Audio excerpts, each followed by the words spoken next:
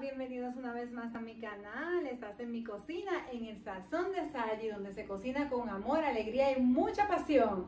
Así que hoy estoy muy contenta. Ya eh, hoy doy por terminada la temporada de los disfraces de Halloween. Eh, este es mi último disfraz por este año, ¿verdad? Hoy me encuentro disfrazada de espantapájaros, así que miren mi look. Estoy lo mejor. Eh, esto fue este disfraz realmente lo creé yo, lo diseñé yo, me maquillé yo, o sea, todo es una producción mía. Así que yo espero que les encante tanto como, tanto como yo me divierto haciéndolo para ustedes, ¿ok? Así que para los que no me conocen, mi nombre es Sayi. Soy de Puerto Rico y me encanta cocinar. Por lo regular, mi canal está dedicado a hacer diferentes tipos de recetas pero en las diferentes temporadas trato de alegrar y avivar más, eh, darle más sazón y alegría a mi canal, añadiendo pues sorpresitas que van a tono con la temporada. Así que bienvenidos si me están viendo por primera vez y muchísimas gracias a los que siempre me ven y me apoyan y me escriben sus cositas y sus comentarios tan lindos que siempre leo. Así que en el día de hoy les tengo una recetita que es un postrecito que lo he llamado eh, tembleque de calabaza, pero es como una natilla de calabaza, como ustedes lo quieran llamar, pero es riquísimo, o sea, estamos todavía en la temporada de calabaza, así que ya pronto viene Thanksgiving, estén pendientes porque eh, voy a enseñarles a hacer el adobo mío del pavo, cómo hago el relleno, cómo lo adobo. Eh, voy a hacer un pavo también. Voy a estar haciendo algunas manualidades también en mi canal porque a mí me encantan las manualidades. O sea, vengo con muchísimas cosas chéveres que yo sé que les va a encantar a todos ustedes, ¿ok? Así que nada, bienvenidos. Inmediatamente les presento los ingredientes para comenzar a hacer nuestra natilla de calabaza o nuestro tembleque de calabaza, ¿ok? Así que vamos allá.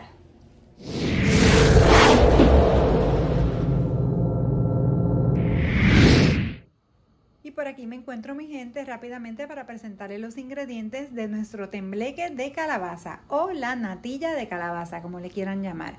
Así que los ingredientes son eh, 3 cuartos taza de azúcar, una pizca de sal, necesitamos vainilla líquida, necesitamos también una cucharada de el pumpkin pie spice, necesitamos una taza de calabaza majada, en este caso la, con, la compré fresca, así que ya tengo mi agüita por aquí calentándose para, para proceder a hervirla. Necesitamos dos tazas de leche de coco, leche de coco. Necesitamos media taza de maicena, que es fécula de maíz. Eh, necesitamos también los envases donde vamos a envasar nuestro tembleque de calabaza. Básicamente esos son los ingredientes, no son muchos y eh, para la creatividad tengo cositas aquí para cuando vaya a envasar en, los, en, los, en los moldecitos mi tembleque de calabaza o mi natilla de calabaza, pues la, le pongo decoración, ¿ok? Así que manos a la obra, comenzamos.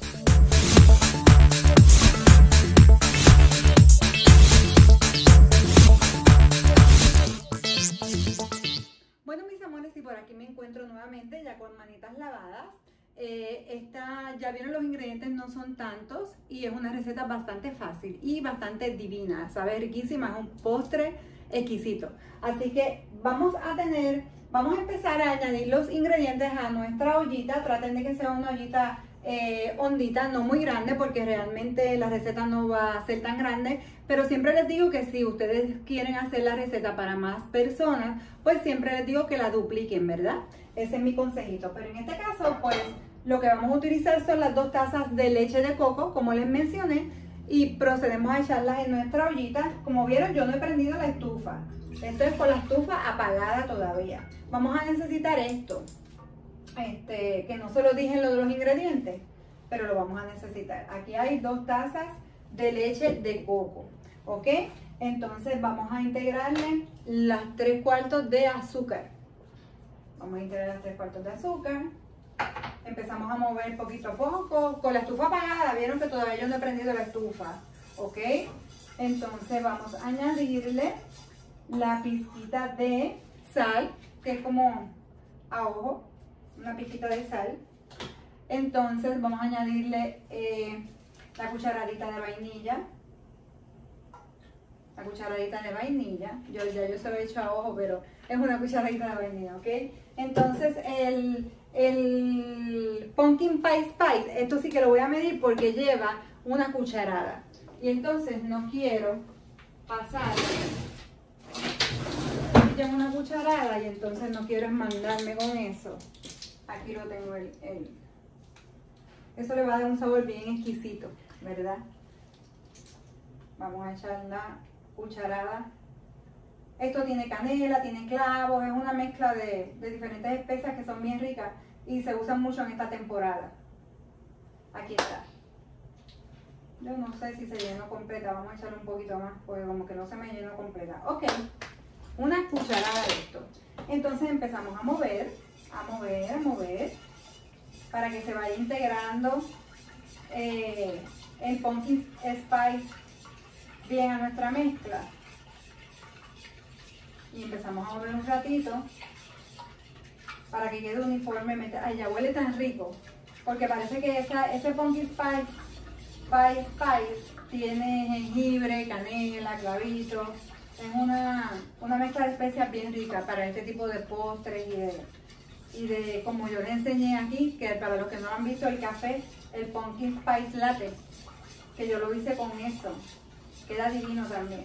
¿Ven? Ya esto se va integrando poquito a poquito, poquito a poquito. Lo último que le vamos a añadir es la taza de la calabaza.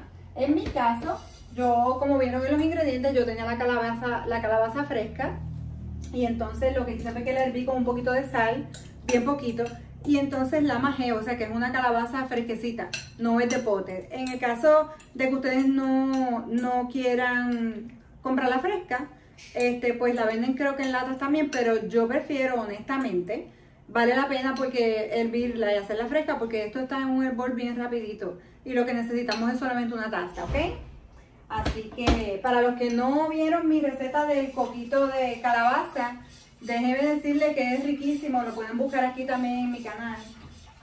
Así que, ¿qué vamos a añadir ahora? Ahora vamos a añadir la media taza de fécula de maíz, lo que nosotros conocemos como maicena, ¿verdad? Esto lo vamos a añadir.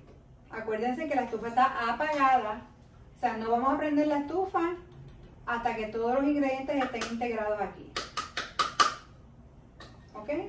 Y entonces empezamos a, a diluir esto, a diluir esto. A moverlo, a moverlo, que quede todo uniformemente, que no se te quede ni un grumito de la maicena. Ella, ella se va formando así, se va diluyendo y ustedes van viendo como unas, como unas bolitas, pero ella va diluyendo mientras ustedes siguen moviendo, moviendo, moviendo moviendo. ¿Ok? Entonces, por último, por último, vamos a añadirle la taza de la calabaza. Ya miren cómo va Miren cómo se va tornando el colorcito. ¿Ven? Se va tornando. Todavía quedan grumitos de la maicena. Porque aunque ustedes no lo crean, es chaboncita. Es una harina bien suavecita y bien finita, pero ella, si no, si no se diluye bien, el problema es que cuando entonces hagamos nuestra, nuestra, nuestro tembleque, nuestra natilla, pues entonces se va, si no se diluye, Bien, pues entonces vamos a encontrar esas bolitas en la boca y eso no queremos porque es desagradable. Quiere decir que no queda perfectamente hecho. A mí me encanta que todo quede hecho perfectamente, ¿verdad? Bueno, ese es el propósito. Así que ya esto está, huele divino, huele bien rico, huele bien sabroso. Entonces, ahora, ¿qué vamos a hacer? Vamos a, medir, aquí es más de una taza de calabaza, yo no lo puedo echar todo eso, así que vamos a medirlo con, la taza. Vamos a medirlo con la taza para echarle exactamente la taza de calabaza. No lo voy a echar más porque la receta realmente lleva una taza. Así que la he hecho y empezamos a mover. Nos sobró ese poquito ahí. Ese poquito si lo coge la, la nietecita mía, se la come. Mi nietecita Mel, que es una bebé de 7 meses y le encanta comer y ya le dan cositas así. Ok, esto está diluyendo muy, muy bien. Ya, ya se tornó de un colorcito anaranjadito y huele riquísimo. Ahora, antes de prender la estufa, porque vamos a cocinarlo a fuego mediano y lo vamos a estar en constante movimiento cuando prendamos el, el fuego de la estufa, ¿verdad? Ahora es el momento de probar a ver cómo está de sabor. A ver si le hace falta un poquito más de azúcar, más de sal. Ahora es el momento de eso. Déjame buscar una cucharita para, para probar eso. A ver si le hace falta algo. Vamos a ver. Mm, le hace falta para mi gusto un poquito más de sal. Yo le eché una pizca, pero realmente necesito un poquito más. Otra pizca. Vamos a decir que cuando ustedes hagan la receta lleva un cuarto de cucharadita de sal, para ser más exacto. Cuarto de cucharadita de sal. Y tal vez, yo le eché tres cuartos de azúcar, pero tal vez para mi gusto, para mi gusto le hace falta como un chilín de azúcar. Aquí es donde usted ajusta los sabores, cuando ya esto está en ese punto, usted ajusta los sabores a su gusto. Si quiere más dulcecitos, si usted es diabético y no puede echarle más azúcar, pues no le eche. Pero para mí, para mi gusto, este, déjame coger otra cuchara. Esta está limpia, cogí otra por si acaso.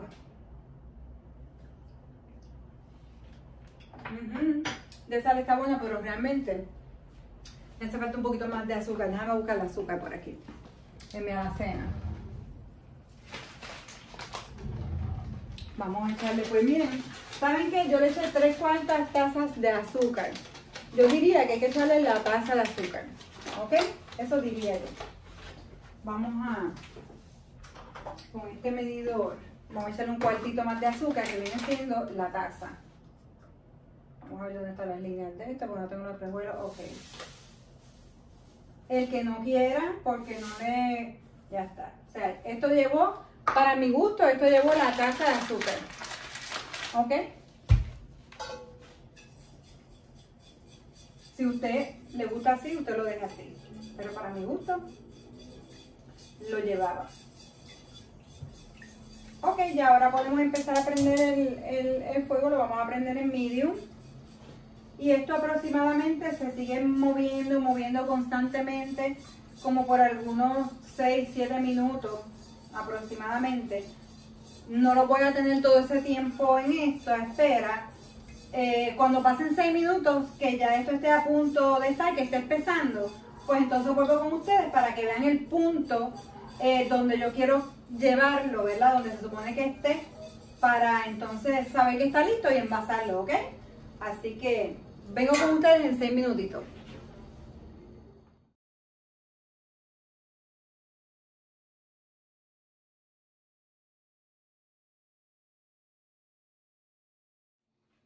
Ya me encuentro por aquí, ya nuestra natilla de calabaza o nuestro tembleque de calabaza ya está. Lo retiré porque si no lo retiro, se sigue cocinando, ¿verdad? Y se me sobrecocina quedó perfecto, tiene un sabor exquisito. El ajuste que le hice fue perfecto, así que no le echen eh, las tres cuartos tazas de azúcar, échenle la, taza de azúcar completita, ¿ok? Miren, miren cómo quedó. Miren qué bonito. Mmm, quedó bien divina, bien, bien divina. Ahora, ¿qué vamos a hacer? Bueno, pues ahora la vamos a envasar aquí en nuestros, en nuestro, en nuestros moldecitos de cristal que ya yo tengo listo. Le echo un poquito de agua, porque cuando uno hace tembleque, siempre le echa un poquito de agua a los moldes para que cuando se vaya a servir, eh, si lo quieres transportar a otro plato y tirarlo boca abajo, era así, se tiembla, por eso que se llama tembleque. O si te lo quieres comer aquí, pues no hay problema. Pero siempre se le echa en el fondo un poquito de agua. O sea, se escurre el agüita. Ok, ahora voy a buscar una espatulita de servir.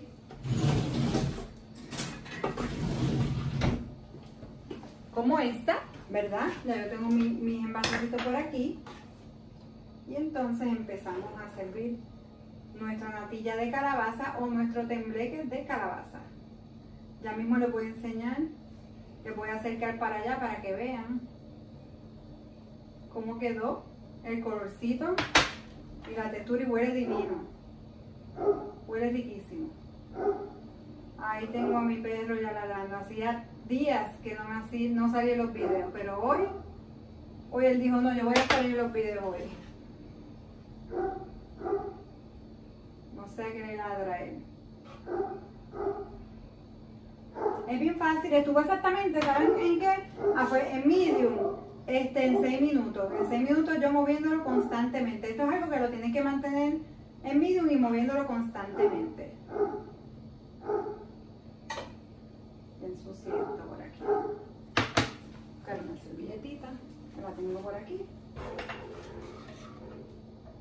De estos salen, siempre, siempre que hago una natilla o un templequito, en esta receta pequeña me salen siempre seis, seis moldecitos de esto.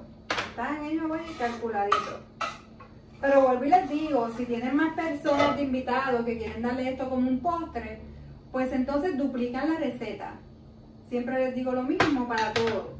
Para todo lo que yo les enseño a hacer por aquí, para ustedes si quieren y tienen más invitados o hay más personas, pues entonces la duplican. Esto, esto huele tan sabroso. Huele divina, divina. Voy a dejar esta olla por aquí. Con, miren qué chévere. Miren la texturita de esto, qué chévere quedó. Miren. Ahora con la espatulita yo le hago así. Esto va para la nevera. Ahora, si usted es como yo, a mí me gusta probarla calientita me gusta. Vamos a acomodarla por aquí. A mí me gusta cuando hago tembleque, siempre me gusta comer un poquito caliente. Queda como una cremita, ¿verdad? Como si fuera una cremita. Pero este postre realmente se come frío, ¿ok? Pero se vale que lo prueben caliente. Y antes de yo ponerlo en la nevera, cuando esté frío, que ustedes lo tengan frío, lo pueden decorar, lo pueden decorar ahora. Yo como no tengo tiempo y entonces lo necesito poner en la nevera y quiero, quiero enseñarles la presentación completa, pues tengo por aquí, ahí vamos a meter este dedito aquí a probar. Mm. Esto está delicioso, delicioso. ¿Ok? Bueno, pues como vamos a decorar, vamos a usar la creatividad, yo tengo unos ojitos por aquí, a uno le puedo poner un ojito de esto en el medio, Miren que, nice, ¿verdad? A otro le puedo poner una arañita. Una arañita en el medio. Miren qué chévere se ve. Miren. Eh, a otro le puedo poner un ojito. Otro ojito. O le puedo poner los dos ojitos. Uno, uno visco. Uno visco y otro, y otro más grande. Miren. Miren esto. Miren esto. Esto puede ser perfectamente un postre para la cena del Día de los Disfraces, ¿verdad? De Halloween. Vamos a ponerle otro ojo a este. Vamos a ponerle más arañitas a estos. ¿Ven? Ya está. Mi natilla de calabaza ya está lista. Y está, miren, decoradita y todo. Me salieron seis. Miren qué chévere. Me salieron seis. ¿Vieron? Y ahora voy a probarlo, claro que lo voy a probar aunque esté caliente. Mañana ustedes la ponen en la nevera y como a las 3 o 4 horas ya ella está lista de comer. Pero si la hacen en la noche, pues la dejan en la nevera al otro día, ya saben que el postre está listo. Ahora que yo voy a hacer, yo la voy a probar porque la tengo que probar. Así que por aquí tengo una cucharita. Vamos a probar esta que tiene la arañita por aquí. Miren qué bonita, mi arañita. Vamos a probar. Mmm. Ay, qué rico. Me ganas uno de seguir comiendo. Mmm. caliente, es como una cremita. Mmm. La fusión de la leche de coco con la calabaza y la especie esa de spice, de pumpkin spice. Mmm. Ay, de verdad que esto está. Uno quiere seguir comiendo. Mmm. Hágalo. Hágalo con la calabaza fresca. Hmm. Esto está divino. De verdad que sí. Me encantó. Espero que a ustedes les encante también. Trátenla porque está de verdad, de verdad riquísima. Pero riquísima. Así que yo me voy despidiendo de ustedes. Y eh, como siempre les digo, muchísimas gracias por estar. Muchísimas gracias por el apoyo. Por todas las cosas lindas que me han escrito. eh, de estos seis disfraces que estuve haciendo y estas seis recetas que estuve haciendo en esta temporada de los disfraces y de Halloween. Yo lo hice con la mejor intención de, de darles felicidad y de alegrarles la vida y a nuestros niños también, ¿verdad? Así que me encanta la creatividad, me encanta la alegría y si yo puedo aportar que ustedes sean felices a través de mi canal, pues miren, chévere, porque no importa eh, si no me ven por la receta, no importa si no me ven por, algunos me ven por la vestimenta, otros me, les gusta mi mensaje positivo, por lo que sea, son bienvenidos aquí a mi canal. Yo todo lo que hago lo hago con muchísimo amor. Así que siempre me despido diciéndole que los alimentos son la provisión de Dios que nos alimenta el cuerpo, ¿verdad? Y el amor que ponemos cuando cocinamos es lo que nos alimenta el alma. Así que alimentar el alma siempre con todo lo bonito y lo mejor que tenemos en nuestro corazón. Así que no me puedo despedir tampoco sin la palabrita positiva del día de hoy, que es la tolerancia. Y explico, ¿qué es la tolerancia? La tolerancia significa eh, respetar las opiniones, las ideas, las actitudes, eh, las preferencias, los gustos y las acciones de las demás personas. Eso es tolerancia. Eh, aunque ustedes no coincidan con, con ¿verdad? Con esas este, actitudes y preferencias de, otra, de otras personas, pues este, ser tolerante es de personas inteligentes y sabias, ¿verdad? Este, ¿Por qué? Porque nos permite vivir en armonía, este, en armonía con el prójimo. Eh, y, en todo, y en todo nuestro entorno hay que saber ser sabio y, y aprender a, escoger nuestras batallas, ¿verdad? Así que la tolerancia es muy importante para eso. La tolerancia va de la mano con la paciencia. Y en ocasiones, por nuestros valores, ¿verdad? Hay cosas que sí son intolerables. De verdad que eh, hay, cosas que nosotros tenemos ciertos valores y, ciertos, y ciertas creencias que este, fomentamos unas cosas y no permitimos otras. Y entonces hay cosas que son intolerables. Y pues eso está bien. Eh, en ese caso tenemos que actuar con cautela, ¿verdad? Eh, y de una manera civilizada, pues retirarnos. Retirarnos y, con mucho protocolo, uno calladito y entonces aprendiendo a respetar las opiniones de las demás personas. Si todos, todos pensáramos igual, pues el mundo sería muy aburrido, ¿verdad? Pero si hay cosas que son intolerables, que no va con nuestros valores, y eso es lo que tenemos que hacer, alejarnos, pero todo civilizadamente, ¿verdad? Eh, pero en fin, eh, ser tolerante en la mayoría de los casos, pues este, genera y fomenta la empatía. Este, y en ocasiones eh, cambiamos posturas, fíjense, en ocasiones ser tolerante y aprender a escuchar a otras personas pues podemos cambiar nuestras posturas de pensamiento que tal vez antes no tolerábamos. Este, así que la tolerancia nos lleva también a aprendizaje. Así que a practicar la tolerancia, porque es una virtud eh, que muy pocos tienen y que tenemos que aprender a desarrollar. Porque realmente eh, sin tolerancia eh, pues las personas tienden a tener mal humor, este, no tienen empatía con el prójimo y nadie es perfecto. O sea, hay que tener tolerancia. Así que vamos a practicarla porque a veces se nos hace difícil, pero es necesario, ¿ok? Así que esa es la palabrita, con eso los dejo. Eh, los espero pronto. Ahora viene la época de acción de gracias y tengo muchas recetitas y muchas cositas nuevas. También tengo pensado hacer eh, manualidades porque me encantan las manualidades. Y viene una época, se avecina una época muy hermosa que es la Navidad, Acción de Gracias y todas esas cositas. Así que vamos a tratar de pasarla eh, súper bien, a pesar de los pesares, a pesar de todo lo que está pasando en el mundo, a pesar de lo que tú puedas estar pasando. Trata de empoderarte, trata de, de sobrellevar los problemas y de echar hacia adelante porque la vida es una sola. Así que los veo pronto, gracias por estar, los quiero mucho, Dios me los bendiga.